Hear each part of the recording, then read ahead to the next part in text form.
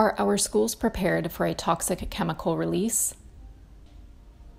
The Torrance and Valero Wilmington refineries use a large amount of toxic chemical called modified hydrofluoric acid.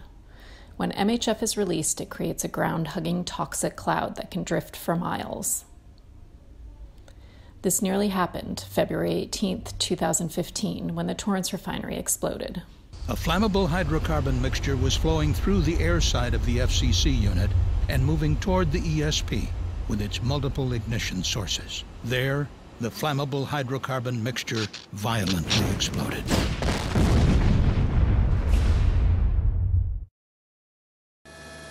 Four workers were injured, but at the time, ExxonMobil told residents there was no health danger to the community. But CBS News has learned it could have been much worse. We were really, really lucky. Vanessa Sutherland, the recently appointed head of the Chemical Safety Board, the federal agency charged with investigating the accident, calls it a near miss. I think it is of concern to us that we have a facility that had a near miss, which I actually feel very lucky about it could have been much more catastrophic. This picture tells it all. Look at this. Catastrophic, she says, because when the explosion happened, a piece of equipment weighing 80,000 pounds was sent flying nearly 100 feet.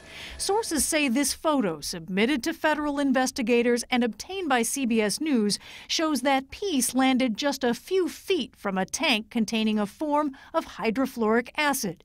It's a highly toxic chemical that, if released, can form a cloud of toxic gas that can drift for miles, potentially causing thousands of injuries and even deaths. HF, in our view and in my view, is one of the most hazardous and deadly chemicals. In worst case scenarios at deadly levels, it causes asphyxiation because once inhaled, it causes respiratory problems that build up fluid and you ultimately drown.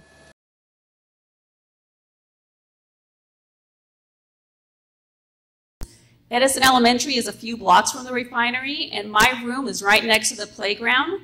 So it was determined that if we had a shelter in place and the students were at recess or lunch, all 200 five to seven year olds would be ushered into my classroom.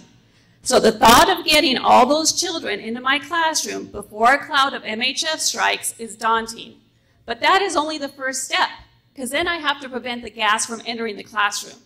So the plan calls for duct tape all around the doors, the windows, and the vents. Now, classrooms don't have ladders, and my ceiling is tall. Before, Edison is about four blocks away with the average wind speed uh, in Torrance. I calculated it's about four to seven minutes before the cloud would reach me. Now, in the news, we've seen teachers act heroically in the, in the face of gun violence over and over again. But a teacher can't save a life by tackling an MHF cloud. And all these plans for duct tape will not keep our children safe.